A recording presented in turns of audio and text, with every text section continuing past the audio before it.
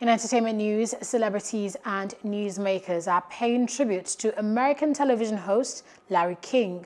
Larry King passed away at the age of 87 on Saturday, January 23rd. Former President Bill Clinton said King interviewed him more than 20 times.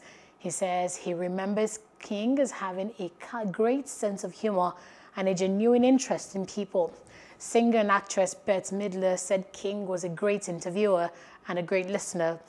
Actress and producer Reese Witherspoon recalled being lucky enough to be interviewed by King and seeing his unique interview style firsthand.